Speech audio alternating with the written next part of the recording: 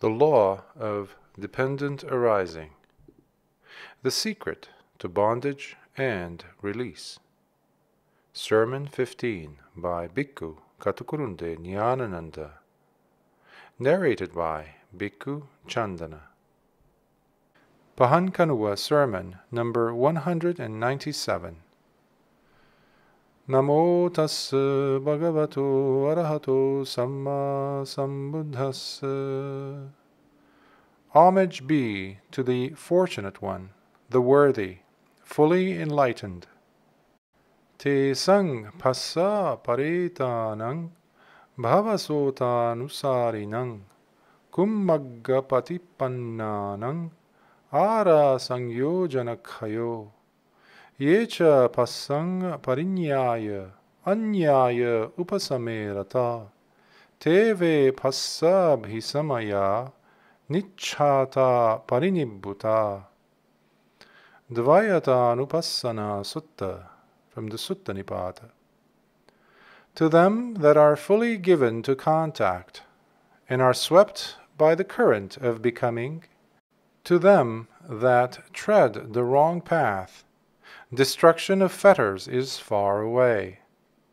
But they that fully understand contact and with full comprehension are attached to appeasement, it is they that by the understanding of contact are hungerless and fully appeased. Dear listeners, the Dhamma that the teacher of the three worlds, the fully enlightened fortunate one, placed before the world is one that goes against the current. That Dhamma which flows against the pervert and narrow current of becoming is the massive body of water called Dhamma Sota, that takes one towards the cessation of becoming. The worldlings caught up in the current of becoming go on revolving in this sansaric whirlpool. The noble disciple who has fallen into the Dhamma current reaches Nibbana, which is called the cessation of becoming. The turning point between these two is contact. Therefore, we have chosen as the topic of this 15th sermon two verses on contact found in the Dvayatanupasana Sutta of the Sutta Nipata. Since we used as the topics of a number of earlier sermons verses from this Dvayatanupasana Sutta, you all might remember the style of preaching followed by the Buddha in that discourse introducing various items of Dhamma which incline to two sides and distinguishing their arising aspect and the cessation aspect, is the style of preaching in this discourse. Now, the two aspects of contact the Buddha first of all introduces to the congregation of monks with this statement in prose. If there are those who ask whether there could be another mode of contemplating the dualities, they should be told, There is. How could there be? Whatever suffering that arises, all that is due to contact. This is one mode of contemplation. With the remainderless cessation of contact, there is no arising of suffering. This is the second mode of contemplation. Having made this declaration, the Buddha goes on to state the benefits of practicing this contemplation of dualities. If a monk dwells diligently and ardently combating defilements in accordance with this contemplation, one of two fruits could be expected of him either full comprehension here and now or if there is any residual clinging, non returnership. It is after this declaration that the Buddha uttered those two verses. Te sang passa paretanang bhavasota nusarinanang kummagga patipannanang ara sangyojanakhayo yecha passang parinyaya anyaya upasamerata teve passabhisamaya nichata parinibbuta.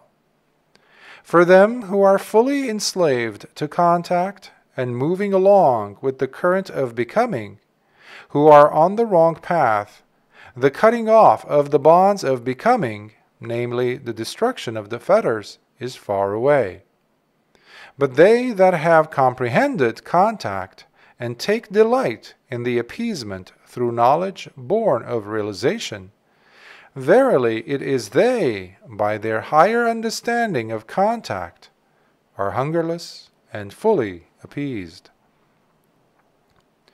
I hope to give a special sermon today based on these two verses because this happens to be a significant day marking the end of the rains retreat of the Sangha, on which they hold the Vinaya act called Pavarana, namely the full moon day ending the rains retreat. Due to other reasons, too, I thought of presenting this sermon at a more practical level, though other sermons also are meditation topics. So let me request you all from this point onwards to listen attentively to what is being said from word to word and sentence to sentence.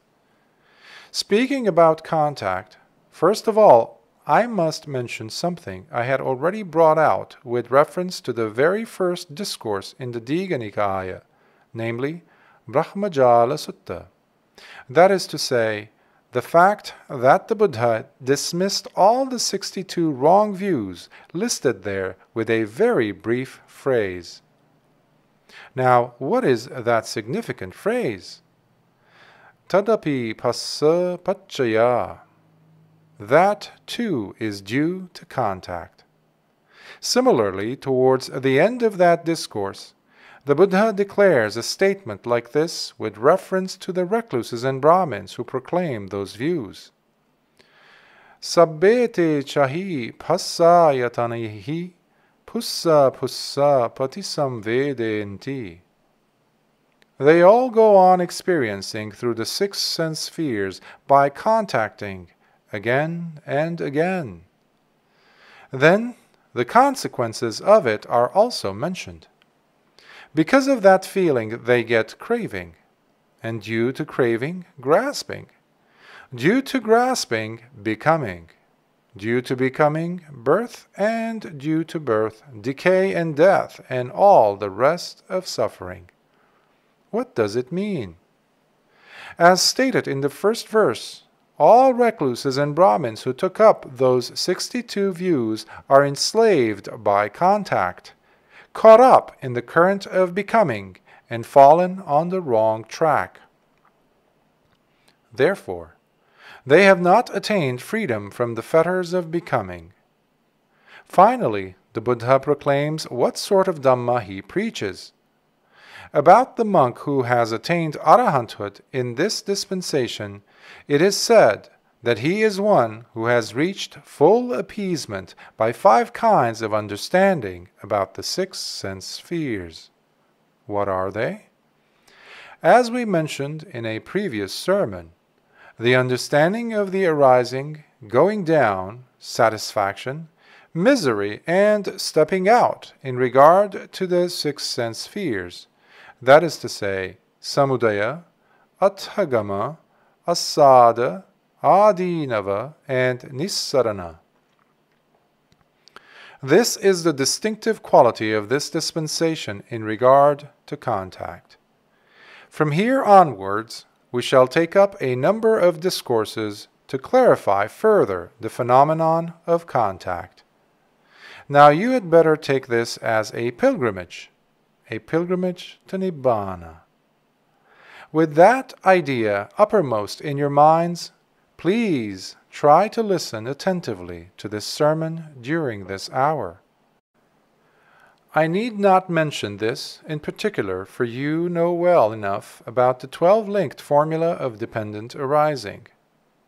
In that formula, beginning with avijja paccaya sankhara, dependent on ignorance, preparations, this is how contact comes to be mentioned. Salayatana Pachaya Passo phassa paccaya vedana. Dependent on the six sense spheres, contact. Dependent on contact, feeling. But the deepest philosophy of contact is presented to us with the utmost clarity by the Madhupindika Honeyball Sutta, which is rich in its flavor of meaning like a ball of honey. On previous occasions, we have discussed in full this Madhupindika Sutta of the Majjhima Nikaya.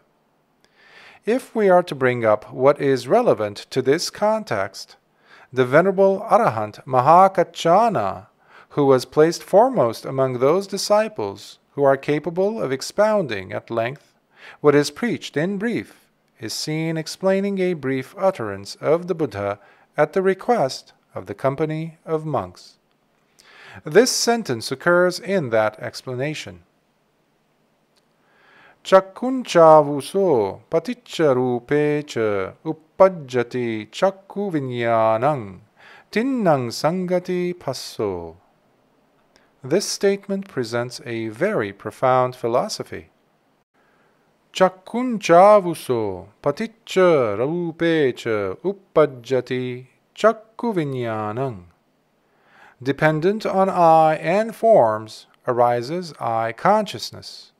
Then comes the phrase Tinang sangati passo. The concurrence of the three is contact. If you reflect on this deeply, you will discover an extremely knotty point, a subtle one at that. Now remember, here the two words paticca and uppajjati came up. This is a clear indication that the law of dependent arising is concerned with the arising of consciousness. Because of eye and forms arises eye consciousness.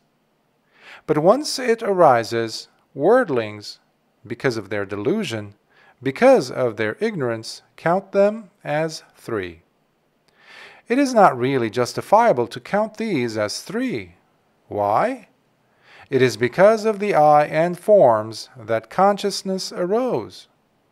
We have explained what eye consciousness is.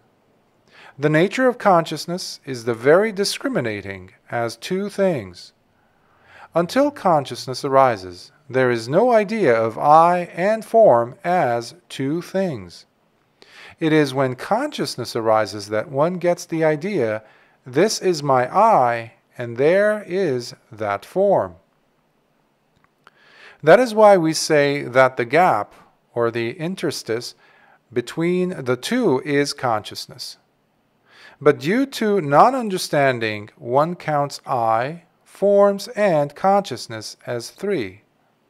It is when one imagines them as three that contact arises.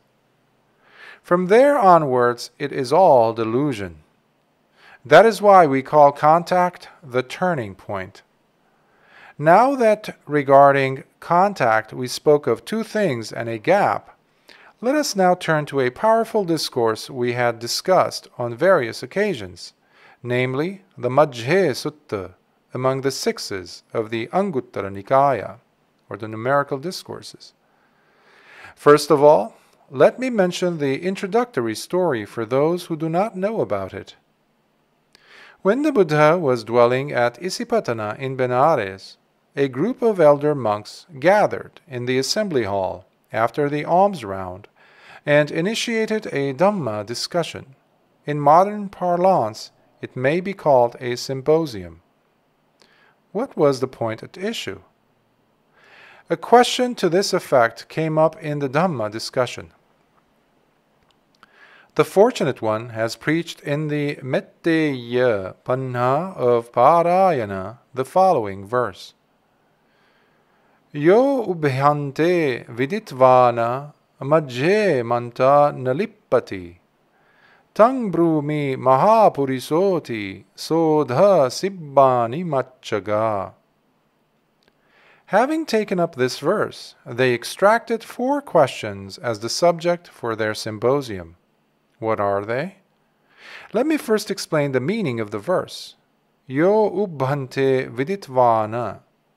He who, having understood both ends, majhe manta nalipati, does not get attached to the middle with wisdom. Tang brumi mahapurisoti, the Buddha is saying, him I call a great man. Why? Sodha sibbani machaga, because he has bypassed the seamstress in this world. So out of this cryptic verse, four points are elicited as questions. What is the one end mentioned in this verse? What is the second end? What is the middle? Who is the seamstress? To these four questions, six elder monks put forth six interpretations. They seem to be wonderful meditation topics. Let me bring up only what is relevant to the context. Relating to the question of sense spheres, the interpretation given by the fifth elder monk is this. One end is the six internal sense spheres, namely eye, ear, nose, tongue, body, and mind. The second end is the six external sense spheres forms, sounds, smells, tastes, touches, ideas. The middle is consciousness, and the seamstress is craving. Talking about seamstress, nowadays there could be skilled seamstress in the garment industry. But this seamstress can beat them all because she has three special qualifications, namely, Pono Bhavika. She puts the stitch for the next birth. Nandiraga Sahagata. She has delight and attachment. And Tatra Tatra Bhinandini. She delights now here, now there. It is that seamstress who puts the knot between the two ends, ignoring the middle. Consciousness, which is in the middle, has arisen because of those two. But ignoring that fact, the seamstress, craving, puts the stitch to those two ends. For instance, it stitches up eye and forms. The story of stitching up eye and forms we have mentioned on various occasions. If we are to give a simile, one that is easily understood is the mirage. In short, the Buddha has compared the entire aggregate of perception to a mirage. When we say mirage, we have in mind only the eye and forms. But the comparison of the entire aggregate of perception to a mirage is a very deep dictum.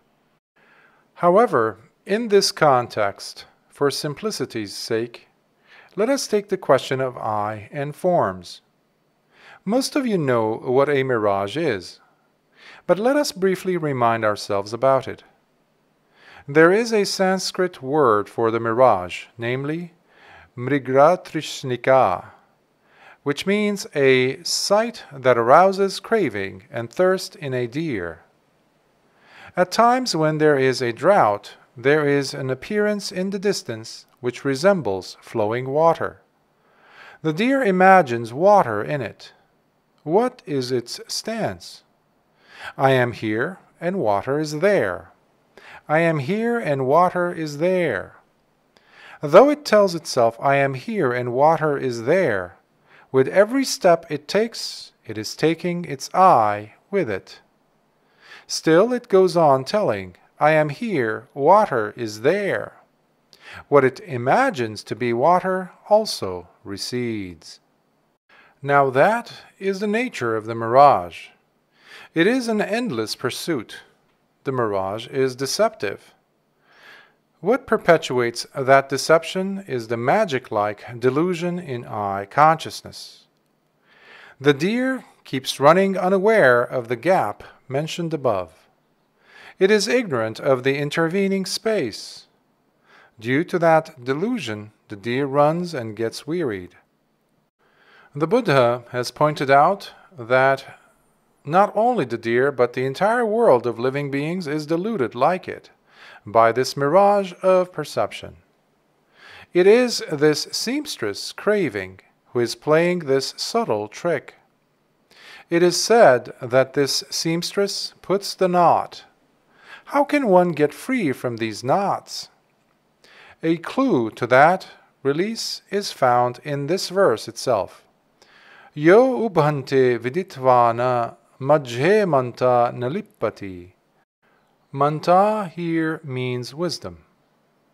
You might say, but we don't have wisdom. It is something that dawns on arahants automatically. You must not say so. The seed of wisdom is there in every one of us. It is yoniso manasikara, radical attention. Yoniso manasikara is a very powerful word in this dispensation, particularly for insight meditators. But unfortunately, we have to mention that in the commentaries we do not get a clear explanation of it. It is explained as upaya manasikara, skillful attention, and patha manasikara, attention according to the path. We call it wise attention for convenience's sake. But there is a great depth in it. Yoni means the place of origin, the matrix. Therefore, yoniso manasikara means attention by way of the place of origin. Already you can guess what the place of origin is. It is contact, passa, that we called the turning point. That is why in the Brahmajala Sutta we found the dictum, Tadapi passa pachaya. That too is dependent on contact. It seems, for some reason or other, that fact has not come to light so far. Contact is what seems to be the place of origin. So attending by way of the place of origin is yoniso manasikara. From here onwards, we have to give various similes. There is a game called table tennis. Well, let us call to mind this game. What we call the ping pong ball and the two rackets are the paraphernalia required. There is a short net in the middle of the table tennis table.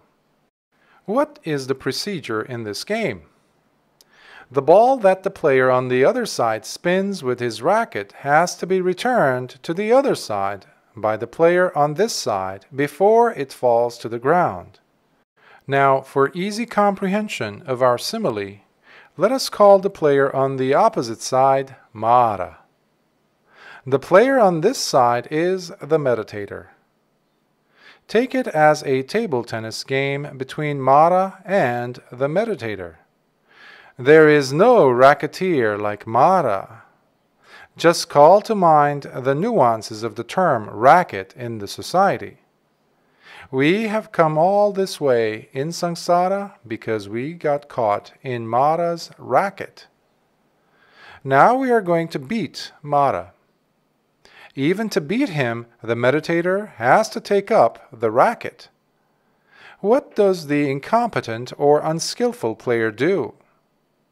When the player on the other side sends the ball to this side, he lets it bump off and, with difficulty, returns it, bending his body this way and that way.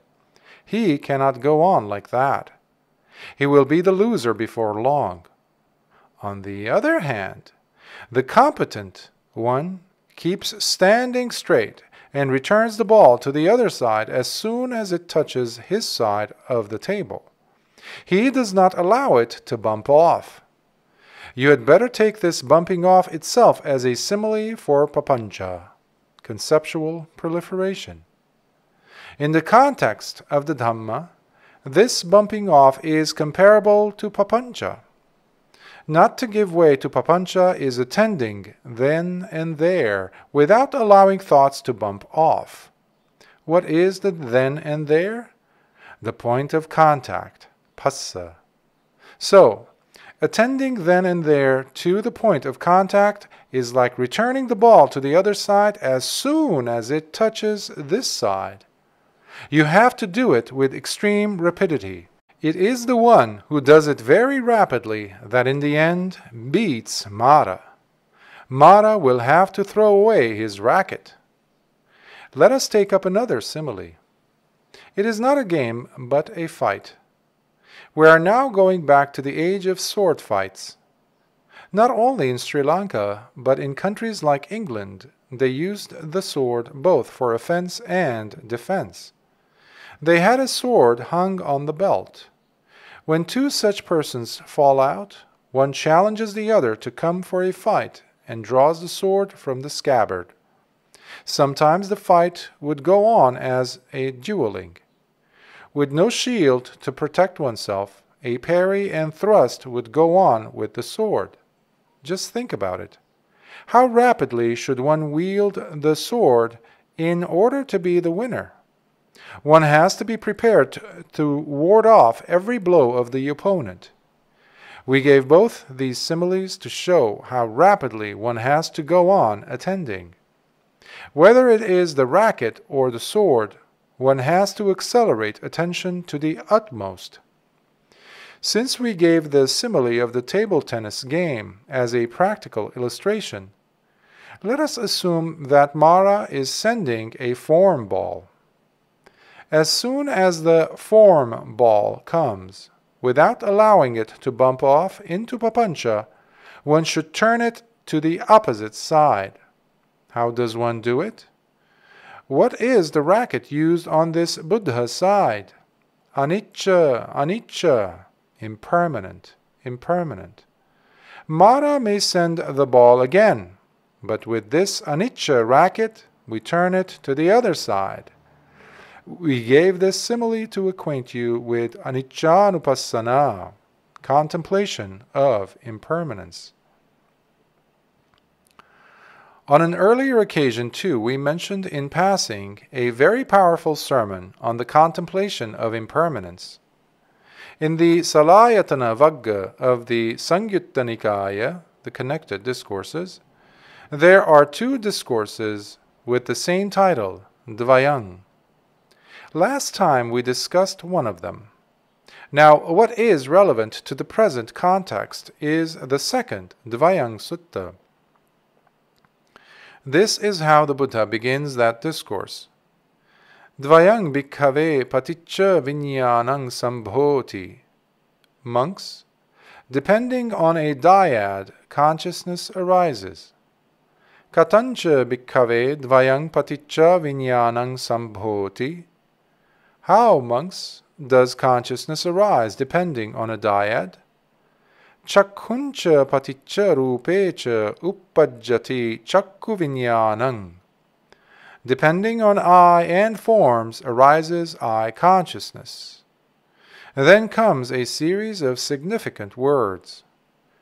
Chakkung anichang viparinami anyathabhavi rupa anicca viparinamino anyatha bhavino.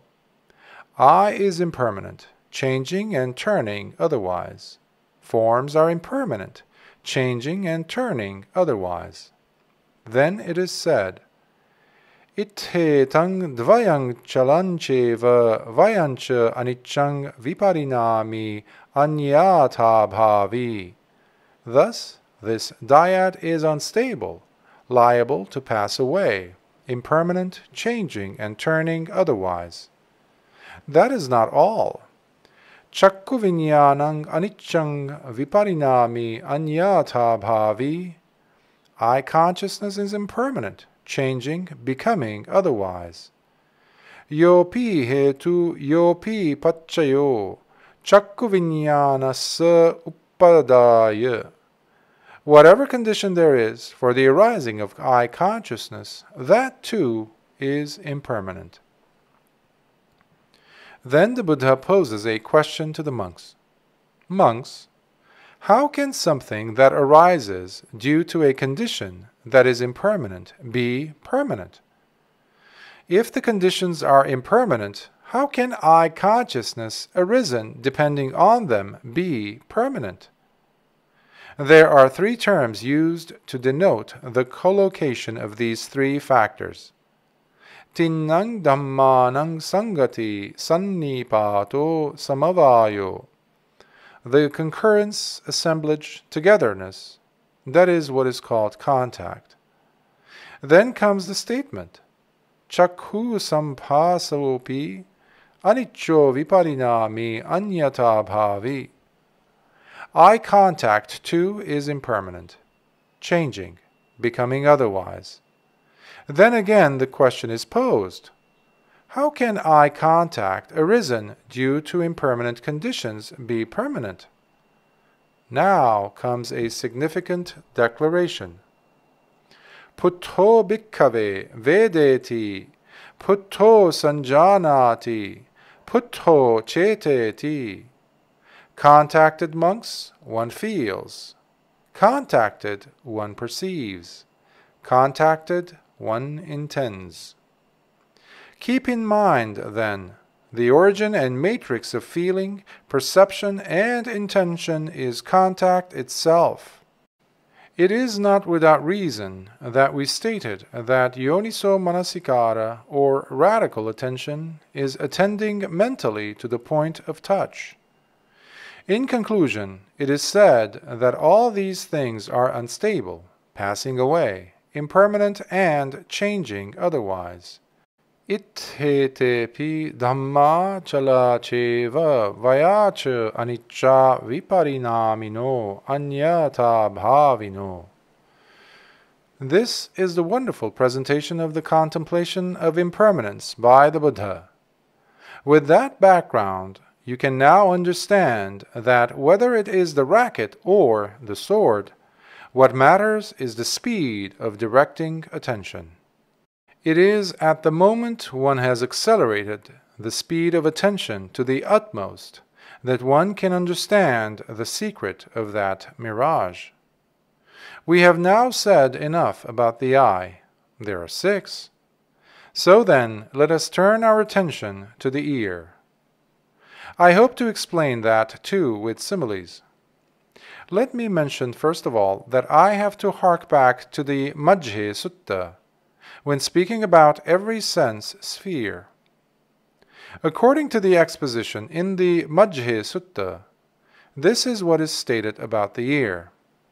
Ear is one end, sound is the second end, and ear consciousness is in the middle. The seamstress, as usual, is craving, what does this seamstress do? She puts the stitch on ear and sound, ignoring ear consciousness. In this case, too, accelerating attention is what is helpful. I would like to give a simile to illustrate the acceleration of attention. It may be a little unconventional. As you know, there is an insect like a beetle about two inches in size, living on the trees which we call rahaya. In English, cicada. That creature starts a music around four o'clock in the afternoon. When one cicada gives the start, others join in the chorus. It is an extremely rough music, irritating the ear. If you bear with me, I shall imitate it. Rrr, rrr, Sometimes I wonder whether it is called Rahaya because it teaches us how to roll our R's. Of course, I do not know the etymology of the word.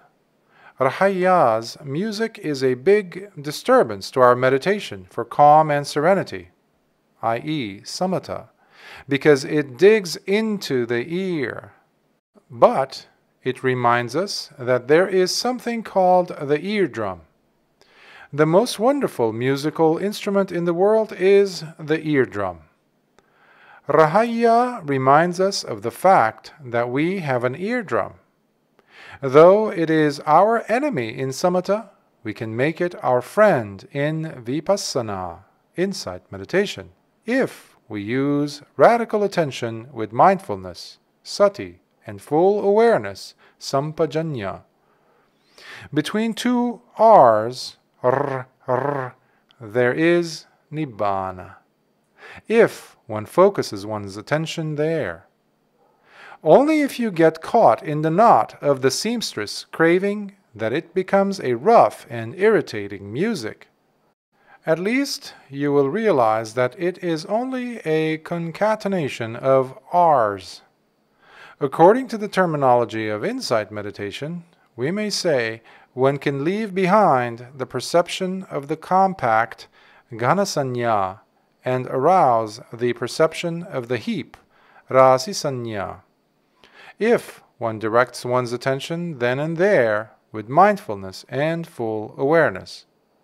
So, after all, Rahaya is an insect that gives us a meditation topic for Nibbana, though apparently it is a disturbance to calm. I must confess, I forgot to mention one thing when speaking about the eye. All the similes I gave about the eye are gross when compared with the simile given by the Buddha in the Indriya Bhavana Sutta. It is the last discourse in the Majjhima Nikaya, the middle length discourses. It is a wonderful discourse which the Buddha addressed to Venerable Ananda.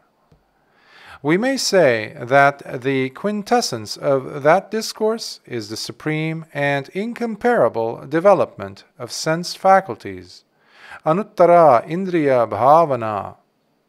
It is illustrated with a number of similes. The simile that the Buddha had given there with reference to the eye beats all our similes regarding the acceleration of attention. The simile is As quickly as a man with vision opens his eyes and closes them, and closes the eyes and opens them, one should exercise radical attention with regard to forms coming before the eyes. So, for the eyes, the Buddha has aptly given a simile based on the eye. When it comes to the ear, he gives a simile about the ear itself. Just as a strong man snaps his fingers with perfect ease so quickly, should one attend to a sound. By the way, the snapping of the fingers is often taken as an indication of a moment, khanna. The Buddha says that on hearing a sound, a monk might be pleased or displeased or have a mingling of both, but that he should immediately get rid of them and bring his mind to rest in equanimity. Then we come to the nose. There too, if we go back to the Majjhe Sutta, nose is one end, smell is the second end, and nose consciousness is in the middle. The seamstress craving ignores the middle and puts the stitch. When we smell something, we actually take in the air bearing the odor. If it is a pleasant smell, we take it in with attachment. Air is the bearer of smell. There is a story in the Sagataka Vagga of the Samyutta Nikaya regarding attachment to fragrant smells. In the Kosala country, a forest dwelling monk was living in a hut in the jungle. One day, on returning from his alms round, he went down into the pond and eagerly smelled a lotus flower. A forest deity saw it and accused him as a thief of fragrance. The monk in defense said, How can you call me a thief of fragrance? I didn't pluck the flower or take it away. But the deity said, You are here purifying your mind. So even a slight fault appears as a serious one. The monk confessed his guilt and thanked the deity for pointing it out. So it seems even intentionally smelling a flower is a defilement. The delusion of the mirage is perpetuated in doing so. One imagines that the fragrance is in the flower. In regard to the tongue, Majjhesutta says, Tongue is one end, taste is the other end, and tongue consciousness is in the middle. When it comes to tasty things, it may be ice cream or a piece of instant chicken. What happens as soon as one sees the ice cream or the piece of chicken? Saliva flows into the tongue. Saliva is the bearer of taste, just as air is the bearer of smell.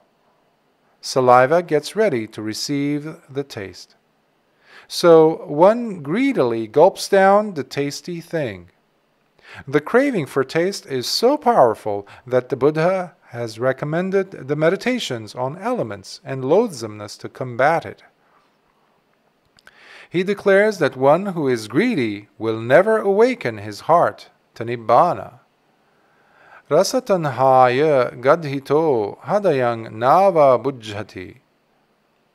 Sometimes he gives a simile that makes one shudder when reflecting on it.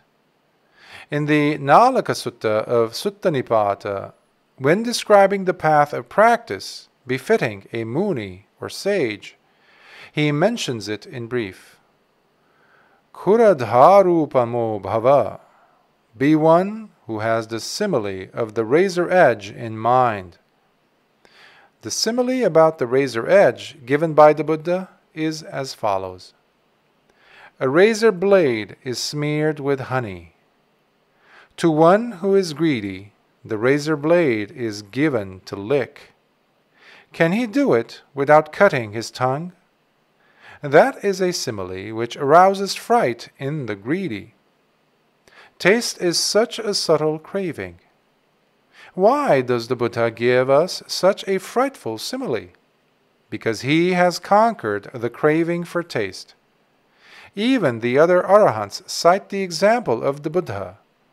Rasapati sangvedi ko panaso bhavang gotamo aharang ahareti nocha rasaraga pati sangvedi. The Brahmin youth Uttara once observed. Experiencing taste, that venerable Gotama partakes of food, but he is not one who experiences an attachment to taste. The taste buds of the Buddha are as acute as ours they do not go inactive with the attainment of Buddhahood, but he has no attachment to taste. Nowadays, people cannot understand this wonderful fact. This means that there is Nibbana even at the tip of the tongue. A meditator can realize this to some extent while taking food with mindfulness and full awareness. So, after all, the taste is neither in the tongue nor in the instant chicken. It is only at the instant the tongue and the instant chicken come together that the flavor becomes active. Now that we have spoken of saliva, just see how aptly the Buddha has given a simile for it. When speaking about the eye, he gave a simile that befits the eye, and in speaking about the ear, one that befits the ear. Now see how apt the simile about the tongue is. Just as a strong man, with the greatest ease, gathers a bit of saliva at the tip of the tongue and spews it out so quickly, should a monk, as soon as the attachment to taste has arisen, free his mind from likes and dislikes and bring it to rest in equanimity. Let us now take up the question of body and tangibles. In this connection, too, the Majjhima Sutta says that the body is the one end, the tangible is the second end, and body consciousness is the middle. There, too, it is precisely due to body and the tangible that body consciousness arises. But the seamstress, craving, stitches up the two. You had better remember all these similes. That is why I cautioned you to listen attentively. It is here that what we actually call contact, phassa, comes. That is why the Buddha called it a nutriment, ahara. He pointed out that there are four kinds of nutriments, chattaro ahara, which sustain beings. The first is the gross or subtle food taken in morsels. Kabalinkarara ahara. The second is contact, phassa. The third is intentional thinking, going on in the mind. Mano Sanchetana. The fourth is consciousness, Vinyanang. It leads to a very deep Dhamma disquisition. But there too, the simile the Buddha has given for contact is one that makes one shudder. It is found in the Puttamangsa Sutta. Without relating the whole story, we shall give only the simile.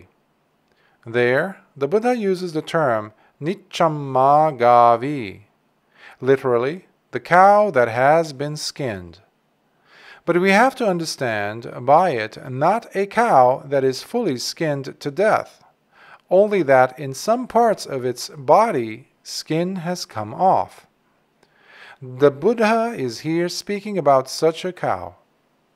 He says that if that cow stands near a wall, creatures in the wall would eat the flesh. If it stands near a tree, creatures in the tree would eat into the wound. If it goes down into water, creatures living in the water would eat into its body. If it stands in an open space, birds would peck at its wounds. Wherever that cow stands, creatures there would eat into it. Just ponder over the depth of this simile. How do we experience the pleasure of bodily contact? What is next to contact is feeling.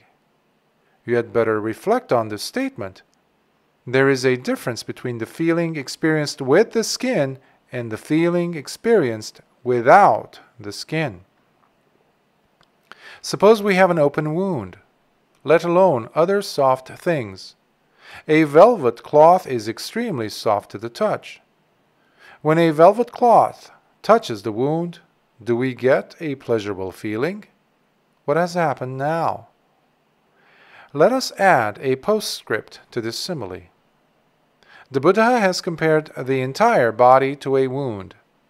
If the whole body is a wound, what could be the skin? The skin is the bandage on it. It is to decorate this bandage that wordlings, especially females, are spending so much. To paint the bandage and make it fashionable Females in particular take a lot of pains. When a tiny scratch occurs, the pleasure of touch is gone. I need not give you instances. Just reflect on the difference between the feeling with the skin and without the skin. So the simile of Nichamagavi, skinned cow, given by the Buddha is extremely profound. Let us now revert to the simile given by the Buddha with reference to the feeling of touch in the Indriya Bhavana Sutta. It concerns the reaction to the feeling of touch. He even gives a formula to show how quickly a monk should dispel a liking or a dislike, or a mixture of both, on experiencing a touch sensation. He gives an insightful formula to be used in bringing the mind to rest in equanimity.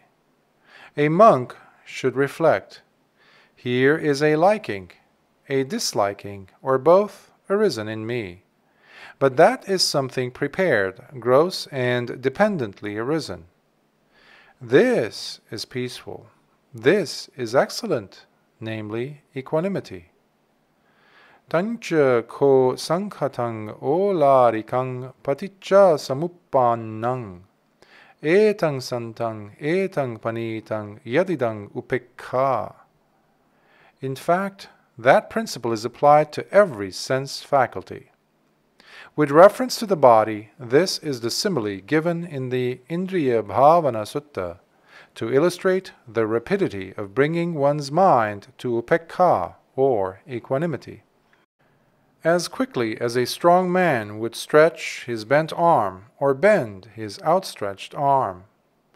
This simile often occurs in the Buddhist scriptures with reference to the speed with which one who has psychic powers disappears from one place and appears at another place. So, in speaking about the body, the Buddha has taken a simile from the body itself. Now we come to the mind. It is with the idea of saving time for dealing with the mind that I dealt with the other senses in brief. Mind is the knottiest point in the stitch of the seamstress craving. It is the last trump of Mara. That is where all beings in the world, including the scientist and the philosopher, has got stuck. There too, to begin with, let us take up the two ends of the Majjhe Sutta. Mind is one end. The other end is mind objects, Dhamma. One who puts the knot between them is the seamstress, craving. We have to explain a very deep point in this connection. Let us hark back to the term manasikara. In the Pali language, the etymology of the word is manasi, which is in the locative case. That means in the mind, and kara is doing. So manasikara is suggestive of some doing in the mind. That doing in the mind, inadvertently, we direct towards some object. That is a very deep point. Now that we have mentioned the word manasikara, let us bring in another discourse we came across earlier too. We have already discussed it. When I mention its title, those of you who had listened to it earlier would easily understand, namely, Kimmulaka Sutta. That also is a very powerful and wonderful discourse. The Buddha asks the monks, How, monks, would you reply if wandering ascetics of other sects raise a set of questions like this? The monks confess, We do not know how to reply. Would the fortunate one himself tell us the answers? What is noteworthy is that the Buddha himself presents the set of questions. That indicates how important and how deep the questions are. Now, the Buddha repeats the set of questions and says, If they question you, you had better give these answers. We have discussed that discourse earlier.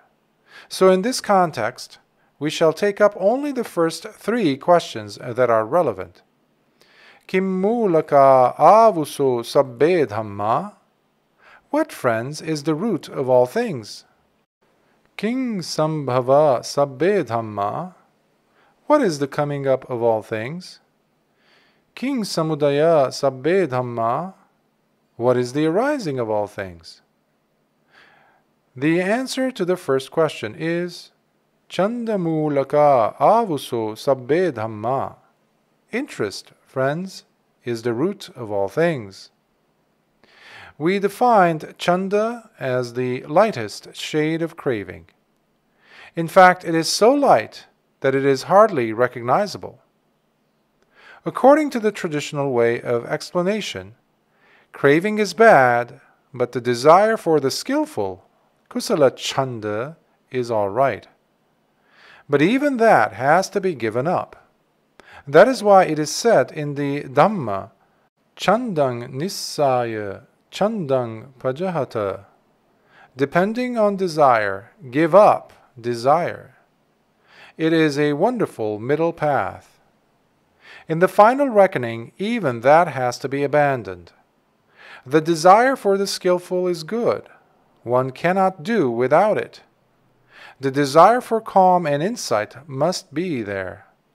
But there comes a time to give it up as well. That shows the fact that chanda, which we rendered by interest, is the root of all things. Just think why a problem comes to our mind as if from nowhere. It is interest, however subtle it may be, but it comes up. What finds or discovers it is attention. Manasikara sambhava. It arises from contact, Phassa Samudaya. I do not know much about the computer, but as far as I can see, all the above three are found in the computer. We spoke of chanda, interest, manasikara, attention, and phassa, contact. Out of these, chanda is the mouse. As you know, the mouse works unseen, stealthily. One cannot even see it working. When the mouse of the computer is active, what happens? The cursor starts running. That is attention. So interest is the root, the mouse, which works stealthily. What does it do stealthily? It sets the cursor working. What does the cursor aim at? The menu on the screen. That is phassa, contact. It is from there onwards that one enjoys what is dished up by the computer. We gave this analysis to make the explanation as practical as possible. So then it seems interest is the root of all things. Until the Buddha pointed it out, the world was unaware of it. Every time we conclude a deep disquisition by citing two simple verses which everyone knows. Let us recall them, at least the relevant portion. Manopubbangama Dhamma Manoseta Manomaya. All this time, the commentarial tradition had interpreted it differently. As we pointed out in explaining the line Manopubbangama Dhamma, out of the two, Mano or mind and Dhamma, mind objects on either side, mind comes first as the forerunner, mano Manopubbangama. Mano se ta, the mind objects have mind as their chief. Not only that, Mano Maya, the mind objects are mind made. That is why there is that word with its peculiar etymology, manasikara, literally doing within the mind, i.e., attention. We were not aware that an object of the mind is of mind's own making. So then it seems that all this gimmick is carried on with something made by the mind itself. Just see how subtle the knotty stitch of the seamstress craving is. It is by accelerating the speed of attention, as in the table tennis game, that one can catch up with it. The secret of attention, manasikara, is discovered by accelerating radical attention, yoniso manasikara. That is to say, by attending promptly, then and there. This is something almost unimaginable. There comes a time when the place of origin of a thought comes to light. There is, in fact, a couple of lines of a verse in a certain discourse which even the commentaries do not explain correctly. Disva ayatanupadang sammachittang vimucchati. Having seen the arising of sense spheres, the mind is well released. What is meant by saying that if at any time one sees the arising of the sense spheres, the mind is emancipated? The arising of the sense spheres occurs at a speed hardly discernible. With extreme rapidity, the give and take process goes on between the mind and the mind object. Everyone thinks that the mind object stands before the mind, for one can argue. How can we think without an object?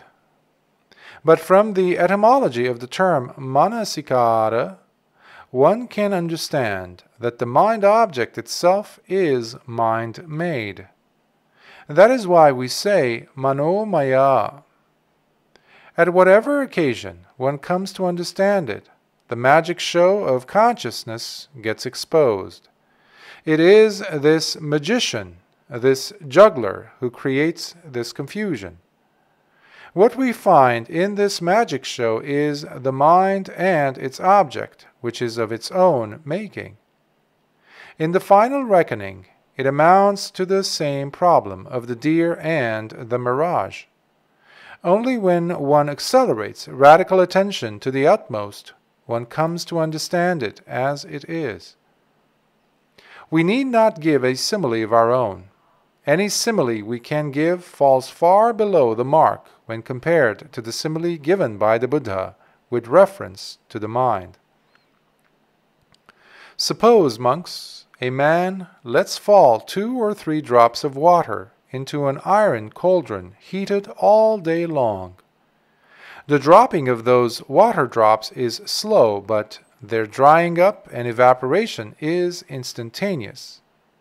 Just try to visualize it. You let two or three drops of water to fall from above into an intensely heated iron cauldron. If you watch the drops as they fall, you fail to see them drying up. In this simile, we seem to get a hint to what is happening between mind and mind object. But even that, if a meditator realizes by accelerating radical attention, he has seen the arising of sense spheres. How the two come together and consciousness arises. To see the arising of consciousness is to see the law of dependent arising. Chakkuncha paticca rupecha uppajjati Note the significance of the two words, paticca, uppajjati. Depending on eye and forms arises eye consciousness. The Buddha has preached that consciousness is a magic show that is why it is said, Majjhe manta nalipati, gets not attached at the middle with wisdom. Yo ubhante viditvana, he who having understood both ends. Why does one who understands both ends has no attachment to the middle? Because he has wisdom. He has discovered the magic of consciousness we have so often said that if one sees the interior of a magic show, the magic is no more for him. It happens at the above mentioned occasion. It is then that radical attention, or yoniso manasikara, which we called the seed of wisdom, bears its fruit as wisdom itself. In that wisdom, consciousness has no place. That is why it is said panya bhave tabha vinyanang parinyayang. Wisdom has to be developed. Consciousness has to be comprehended. In order to comprehend consciousness, wisdom has to be developed. At the peak of the development of wisdom, the secret of consciousness is exposed. It is exposed at the above mentioned moment the arising of sense spheres is seen then and there, along with the seeing of the arising of sense spheres. Their cessation becomes obvious, since whatever that has arisen has to cease. That is the realization of cessation, Nirodha. Then, there is that peaceful and excellent Nibbana as expressed in the memorable formula beginning with etang santang, etang panitang. This is peaceful. This is excellent, etc. The question now comes up about the object of the mind, Dhamma. We said that a meditator cannot do without it. There is a very important discourse which is relevant to the discussion of that point, namely, Alagaddupama Sutta. In that discourse, the Buddha has given the simile of the raft. He declares, Kullu pamang vo bhikkhave dhammang desisasi. Monks, I will preach to you a Dhamma which is comparable to a raft. A man going on a long journey comes across a great expanse of water. There is no ferry boat or bridge. Since there is no other alternative, he collects some branches from here and there, binds them together with creepers, and improvises a raft. With its help, and making an effort with his hands and feet, he gets across to the farther shore. Once he gets to the other shore, he no longer needs the raft, so he sets it adrift in the water. Drawing the moral from this parable, the Buddha says, Kullupamo maya bhikkhave dhammo desito nittaranatthaya no gahanatthaya. I have preached the Dhamma with the simile of the raft just for crossing over, not for grasping. In the same connection, he says, If one has understood this simile, even those things that have to do with Dhamma have to be given up.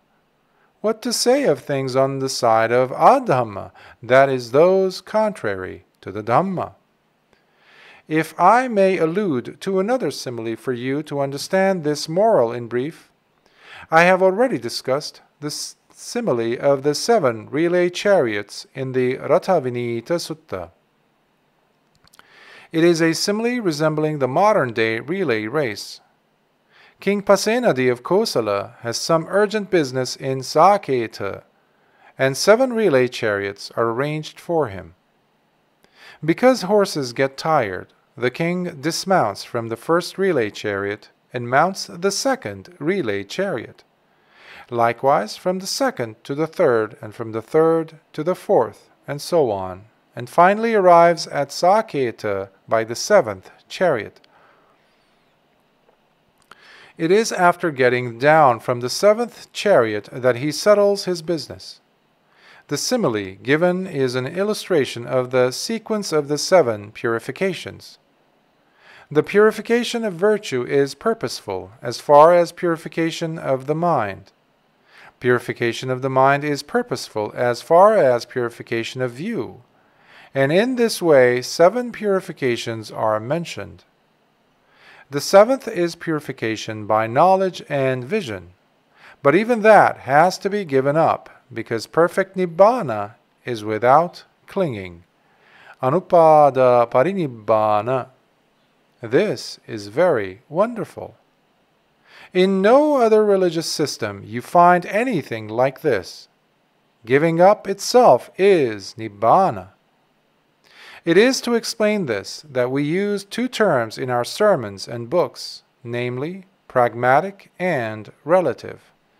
Because it is pragmatic, we make use of it. Because it is relative, we give it up. Now I am going to give you a new simile of a type you had never heard before. As you know, there are relay races.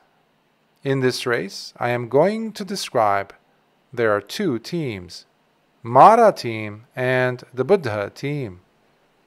We are not concerned with the participants of the Mara team. In the Buddha team, there are four runners in a relay race, they make use of a baton to be carried and passed on. The baton has to reach the winning post for a team to win. Runner number one starts running. He runs in self sacrificing spirit. He runs with all his efforts, panting all the way. On reaching the second runner, he successfully hands over the baton to him, but himself falls dead. His partner does not look back to see whether his friend is dead and runs in the same spirit, putting forth his best efforts. He runs and runs, panting, and passes the baton to the third and falls dead. The third, in the same spirit and with the same vigor, runs and passes the baton to the fourth, but falls dead. The fourth, likewise, runs in the same spirit with all his might to reach the winning post. There he hands over the baton to the judge and himself falls dead. Who gets the prize? Who won the race? Is the baton the winner? There is no one to receive the prize. Take it that Nibbana too is something like that. Everyone seems to have the problem of self and not self, atta and anatta, who attains Nibbana? The Buddha has said in repudiation, These Brahmins are leveling at me a false charge of preaching annihilation. We are also accused of it because of our sermons highlighting the Buddha word. But this is how the Buddha answers the charge of preaching annihilation. Formerly, as well as now, I point out only suffering and the cessation of suffering. Dukkhameva uppajjamanang uppajjati dukkhang nirujhamanang nirujhanti. What arises is only suffering, and what ceases is only suffering. There is no question of persons at all. If so, there is nothing to lament. Those who lament it are doing so because of ignorance. Well then, if you all have come with me in this pilgrimage, the destination is the mind. But of course, one can reach it through any of the six senses. That is why we said that there is nibbana even at the tip of the tongue, provided the meditator properly directs radical attention. Some ancient episodes can be true up to the point, though there are exaggerations in the commentaries. It is said that in the past, in such sacred cities like Anuradhapura and Mihintale, there is no seat in the monasteries, seated on which some monk had not attained arahanthood while partaking of porridge at dawn by reflecting wisely on food. By practicing it regularly as soon as one discovers the secret at the tip of the tongue, one directly comes to the mind. Finally, one arrives at the mind. Whatever is amassed through other senses at last boils down to mind and mind objects. That is where insight reaches its peak.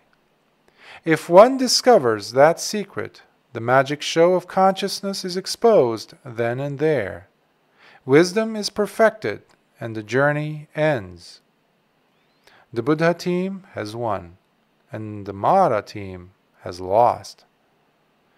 Now that, dear listeners, you have listened attentively to what we have said, try to bring victory to the Buddha team.